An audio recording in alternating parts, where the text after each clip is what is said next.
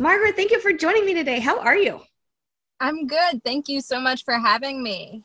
You are quite welcome. I'm excited to talk to you because I think you I think you've been on a journey that a lot of other people may have been on or are struggling through right now trying to figure out what to do for themselves. So I think your story mm-hmm. can be really helpful for a lot of people.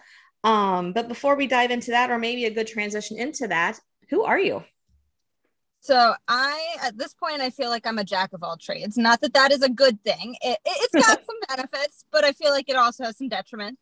But I didn't know what I wanted to do or what I wanted to be, and I'm still, you know, fine tuning it like everyone does.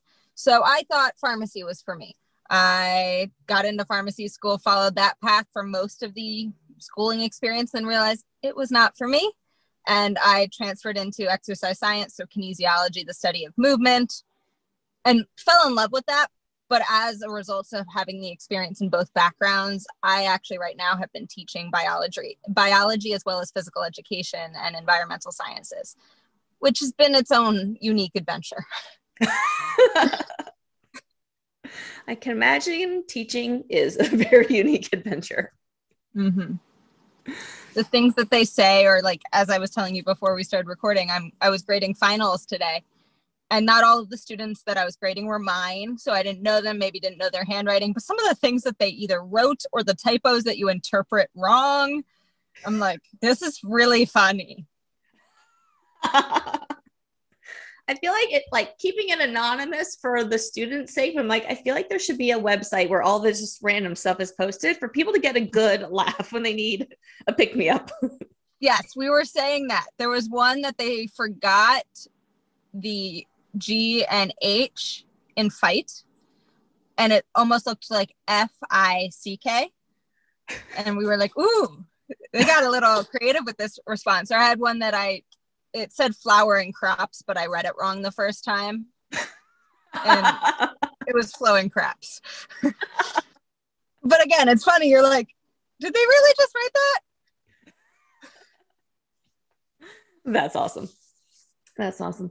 Well, what we, I really want to dive into is really kind of how you got to where you are with your nutrition side of things, your health coaching side of things, um, because a lot of kind of like a lot of us, a lot of our past histories brings us to what we do today. So mm-hmm. I would love for you to mm-hmm. share some of your story of like what you dealt with and how you found those answers for yourself. Yeah, so I dealt with irritable bowel, or at least that's what it was diagnosed as ultimately for most of my life. Um, I was an infant, my parents recall in diapers, dealing with serious gastrointestinal bloating, and they didn't know what to do with it. While maybe there's some more research now, because I have some friends with young children who've said like their doctors have told them to say cut out caffeine or this or that because of how their child's, you know, reacting to their the breast milk. I don't think that was as readily known at that time. Um, so as and I don't know if that was the case or not, but I from a young child was always bloated, um, dealing with extreme gas pain, constipation, or diarrhea. I tended to go one or the other way um, at different times, as well as as I got older and was in school, um, was experiencing a ton of brain fog, specifically after meals. Um, was probably the worst time I'd experienced it. So I slept through one year. My mom had a parent teacher conference with my French teacher, and I loved French class. And she's like, she sleeps the entire time and does really well on her test, but she sleeps the entire time. And it was simply, it was after breakfast. And for me and what I was eating at breakfast, which I think was bagels, because that's what everyone's told us healthy, um, it caused me to have a glycemic spike and then fall back down. And in that falling back down, I fell asleep. Um, and so it was a lot of different factors. And I pursued doctors. We asked doctors about it. Um, I pursued specialists like gastroenterologists, and really most of it didn't come up with information. And while I don't like to say Dr. Google is the answer, I feel like Dr. Google has a lot of keys to at least get the ball rolling or get you thinking about things in a different way, whether it's the real thing, whether it's a hoax, whether some angry blogger decided to throw this thing up here and now you think it's fact. Um, I think it's a great way to look at things differently or be like, okay, what could this be? What could we explore? and even in my own health right now, I'm dealing with some of that. I currently have a crown on one of my teeth that when it was put on, I've had severe pain and can't chew on it since. Um, and I just haven't had the mental energy or time to really dig into what's going on. Because at that point, I was like, well, I can chew on the other side of my mouth till I go have time to go in and deal with it. Since then, a tooth on the other side has broken, and now I can't chew on either side.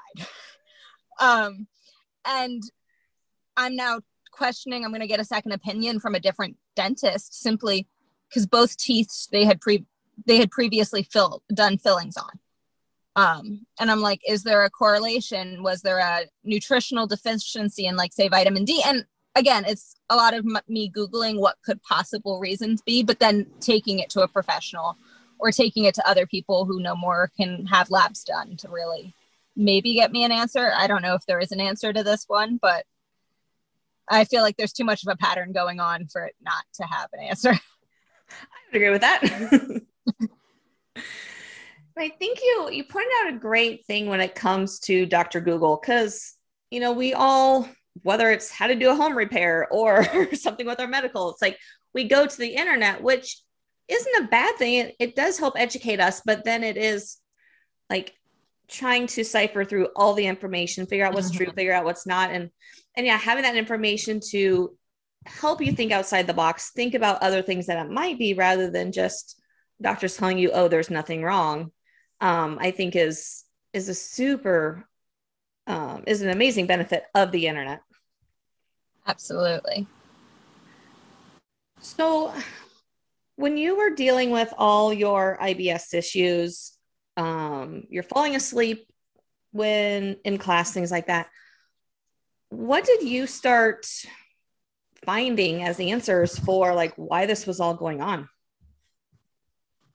I have yet to fully figure out answers to it actually. I've just found food triggers. Um, is simply where mine has been. I've worked with some really, really good doctors and we still haven't gotten concrete diagnoses or fig- figured out specific things. And I think some of mine is very much stress related, which is why we maybe can't fully trace it. Um, because it's not going to show up on a lab other than maybe running cortisol on a daily basis or something. Um, I think some of mine is very much stress related or just activity related, sleep related, which are really hard to track beyond using a sleep tracker or something. But I mm-hmm.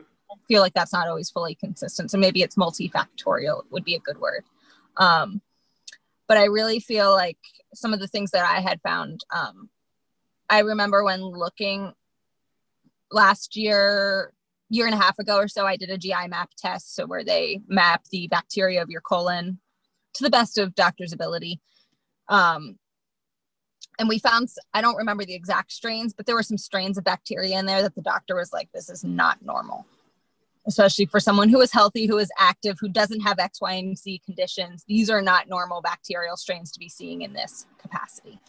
Um, so definitely things like that could be an indicator for someone who's really trying to figure out health um, and finding a good doctor who can read those things reliably but also knowing that there's a uh, pretty large percent error on bacterial gut tests as well.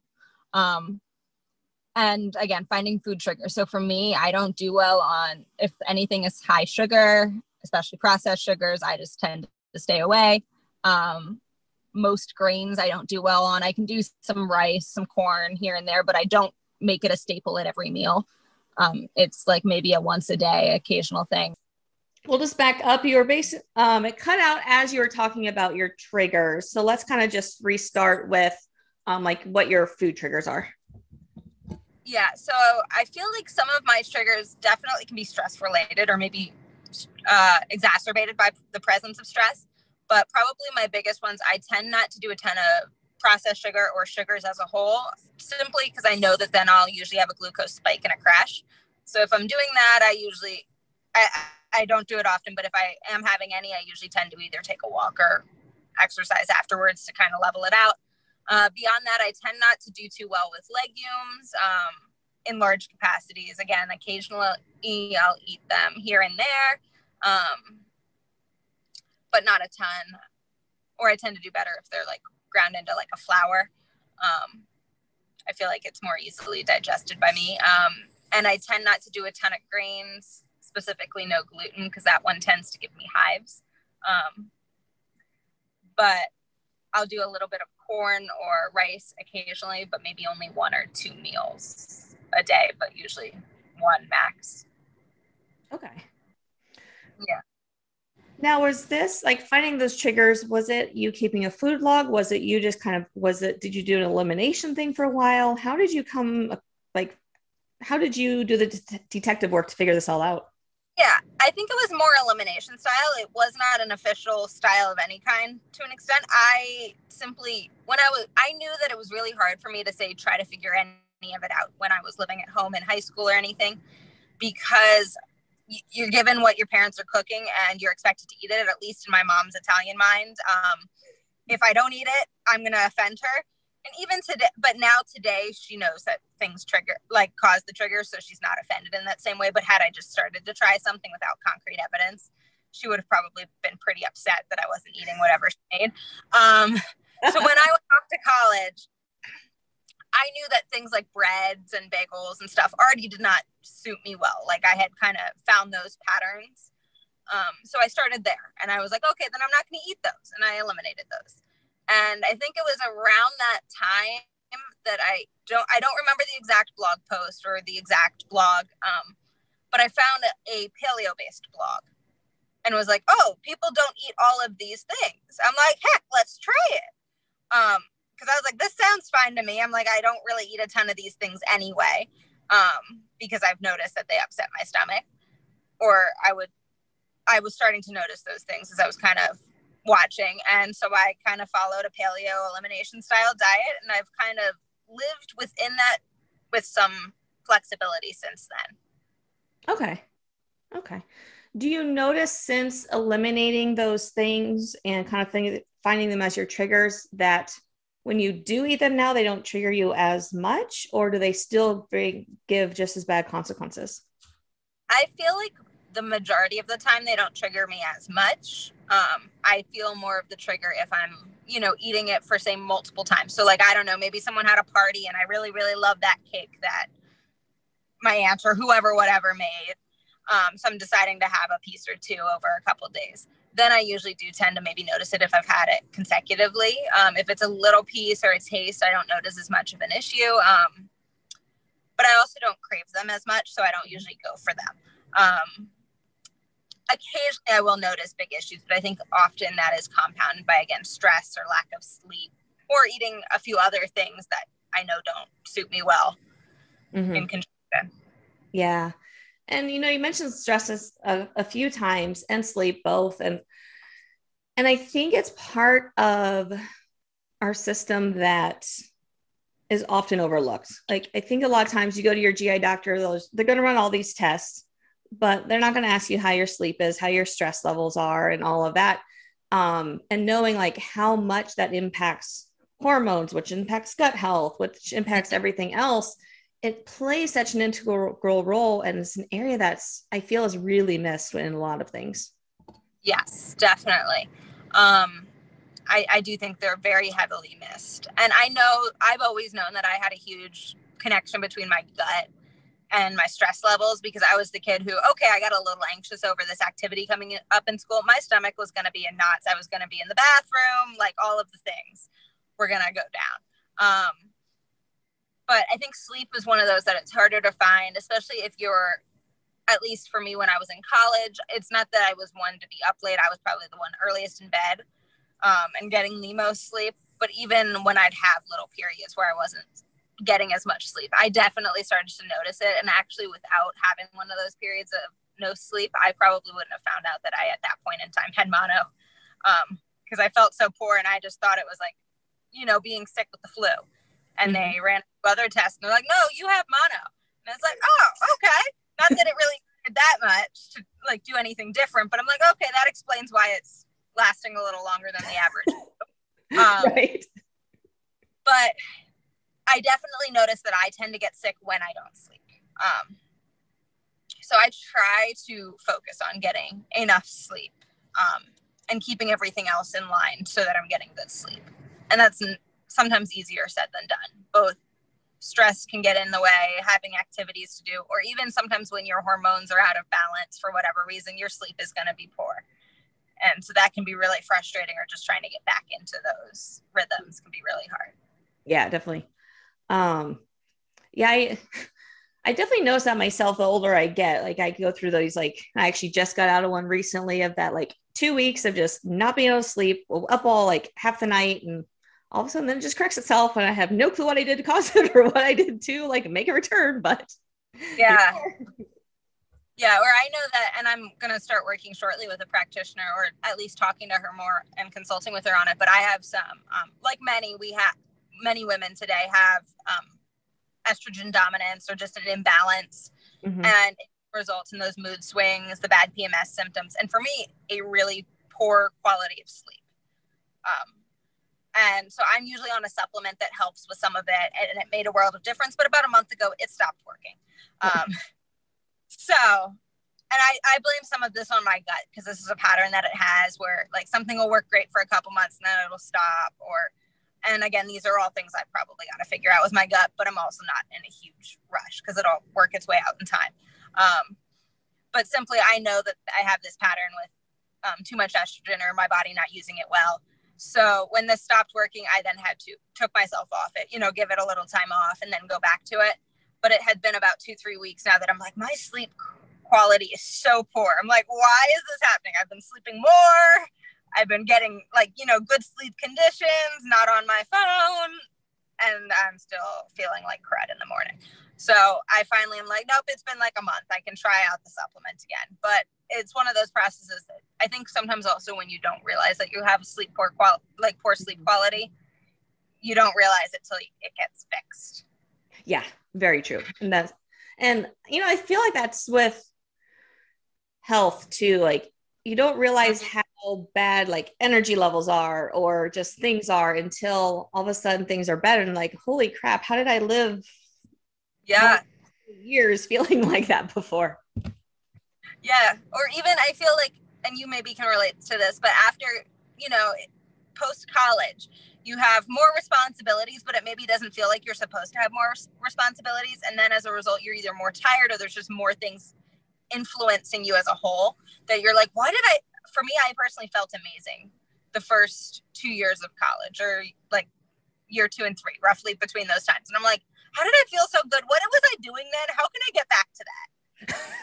some of it was simply that I didn't have as many commitments on my plate. And some of it maybe was that I was in a more controlled environment.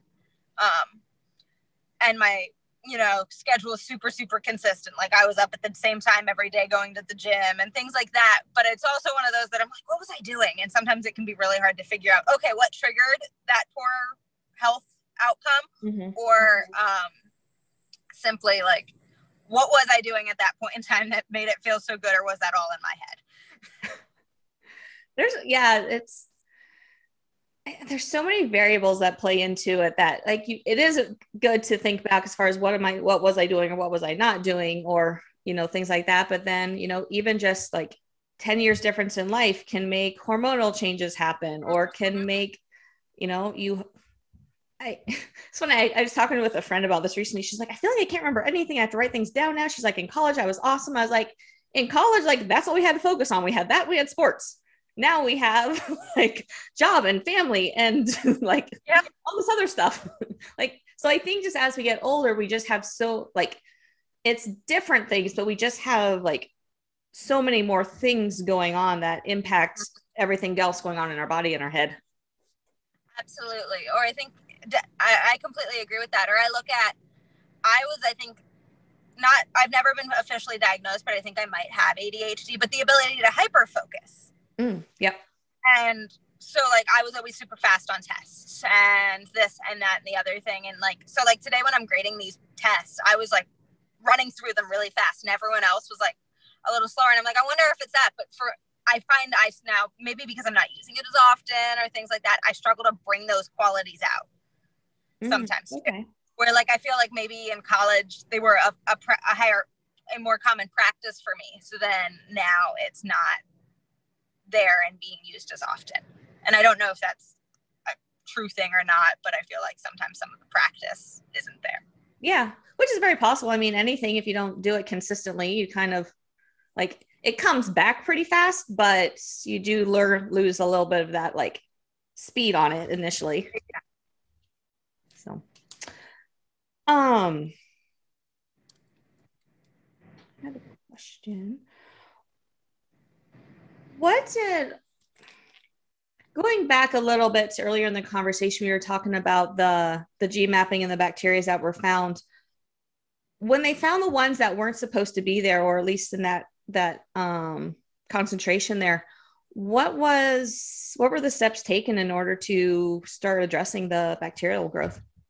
Yeah, so a lot of it was supplementation. So I used a handful of supplements that the doctor had prescribed. Um, they were medical grade supplements. I don't remember the exact um, ones. I know one had a heavy magnesium content, um, which I think I was also deficient in anyway. Um, one is just to help, and some were probiotics, things like that, but really one's to promote good growth and get rid of the bad, as well as I was following a more strict um, diet plan for her, but that was also more that I think due to the fact that I had some candida overgrowth as well. Mm. That was more diet itself was more for that, but starve out the bad, feed the good. Mm-hmm and that was really the protocol I followed. Okay, awesome. Did you do a another GI map test afterwards to kind of see how that all balanced out? I did not, and I probably should have, but I also had some other health issues that came up right as all of it was finishing that kind of resulted in just all of that being thrown to the wayside so those other health issues could be dealt with. Yeah. Um, and those I think are finally at like it's been a year, but some of it I think took a really long time for it to iron out. Mm-hmm. Um, so yeah, understandable. I was just curious on that. I, I should probably take one again for sure. so if someone is looking at Dr. Google, like based on your experience, what you've done um, throughout um, your life, if someone's looking at Dr. Google, they have like all this information, they aren't sure how to sort through it. Like where where do they start kind of deciphering like what do I what do I do? What do I not do? What do I bring up to my doctor? What is quackery? Yeah, I think it can be really hard because I also look at how many doctors will call things that I feel are truly reputable information quackery because it's yeah. not in a conventional model. Um, it's in a more alternative model, or it's new science, or it's nutritional science, which traditional medical doctors don't really get a ton of training in. Yeah, things like which I completely get. They only have so much time to learn things. But um, I feel like looking at, okay, if you're going on a blog, who wrote that blog? Are they a health coach? Are they a personal trainer? Does that qualify them to give you excellent advice? Or do they have a master's in nutrition? Do they, you know, just have a certification? And I'm not saying that all certifications are bad, but being aware of the different levels that someone can have. Um, and some of it I think is also what do you agree with or I truly don't believe that most people should be on a plant-based diet unless they can do it smartly. And I think that being able to do that smartly, one still doesn't always work for everyone, and two, you you need the education to be able to do that. Um, like I have a or had a professor who strongly for himself believes in a plant-based diet, but he has a doctorate in nutrition and can tell him you know knows where to find the proteins and resources and supplements that he needs to be able to you know survive and thrive on that diet.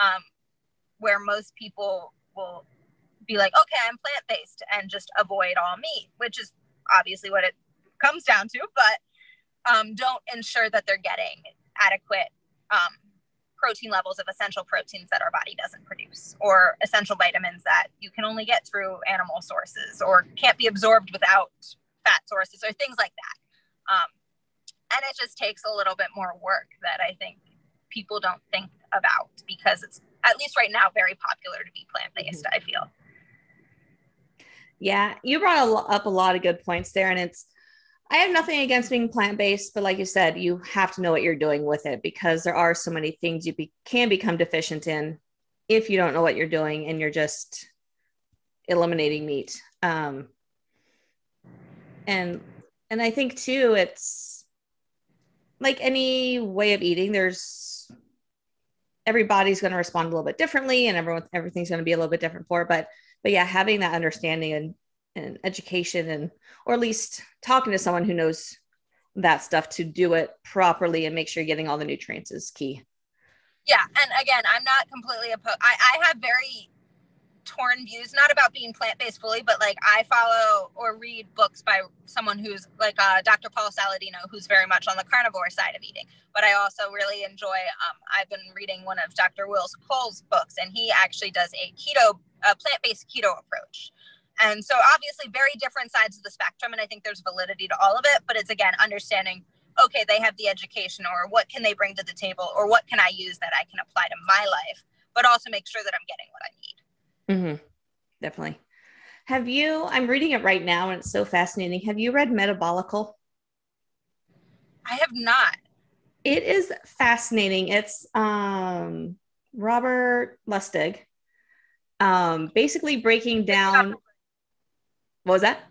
His stuff's great. Yeah, it is. It is. Um, so he really dives into the the like where I think he dives into the more of like how agriculture affects like the planet eventually but right now it's all like the medical side of things and like all this stuff like why the doctors don't address a lot of things and mm-hmm. it's fascinating so highly recommend if you are looking for another book to read oh i will definitely add it to my list right now i've been reading books to screen for uh, reading having my students read so they kept asking me tons of questions about charles darwin and i'm like i have no answers for you I'm like here's what he did in life. He's British. That's you know like he went on a you know multi-year journey around the world on a ship.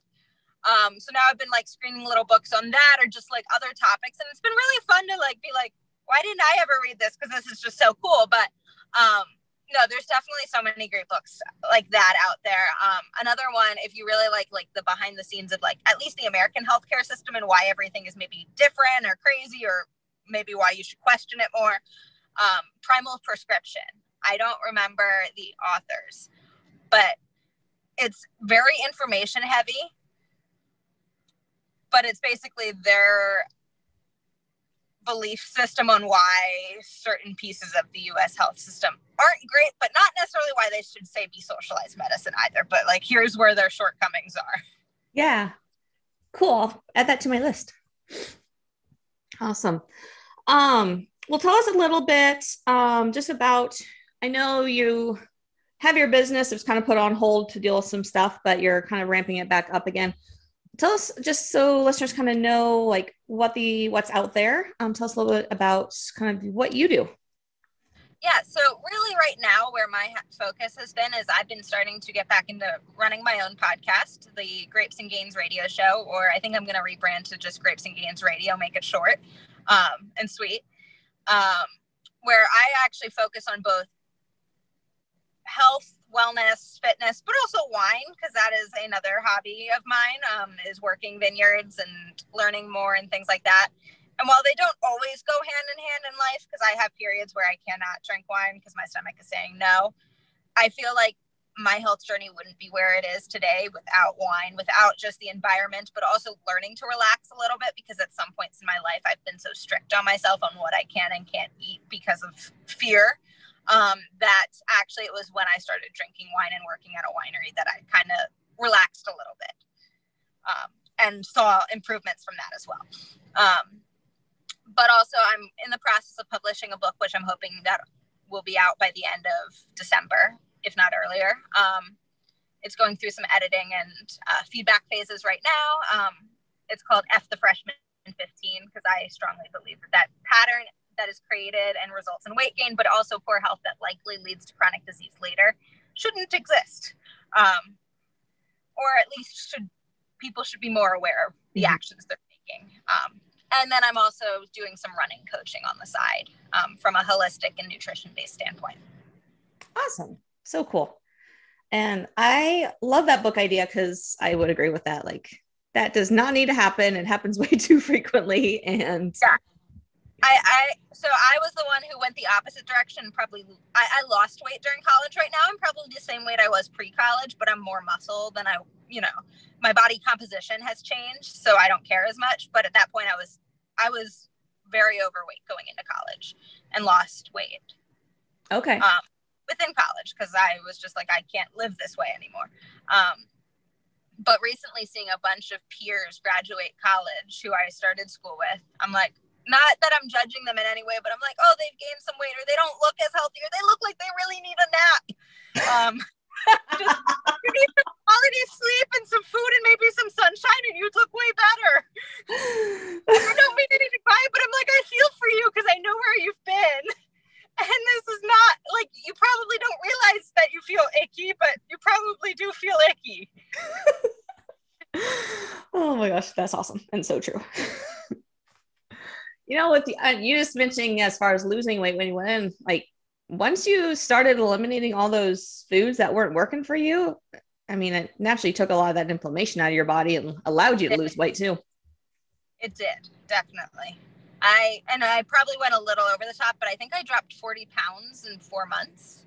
Again, a lot of it being inflammation. Um,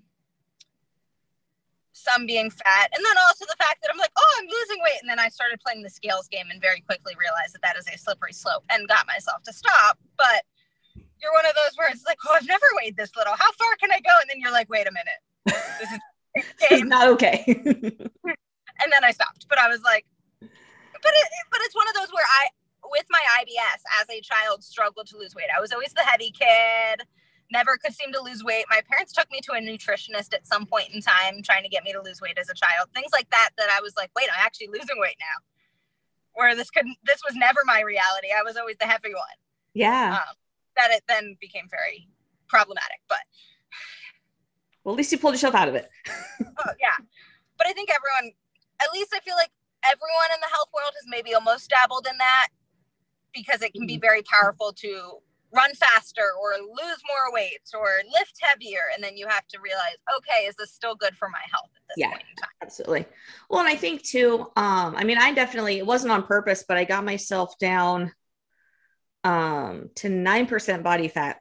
And like mm-hmm. absolutely loved the way i looked but then i could tell where i keep myself now which is closer to like 13 to 15% range um i perform a lot better so I just do better in the gym. I do better with my running and my racing and my competitions. So um like there, it's definitely like it's awesome to have that low body fat and look amazing, but especially if you're in the sports world, you also have to start looking at like where's my performance suffering?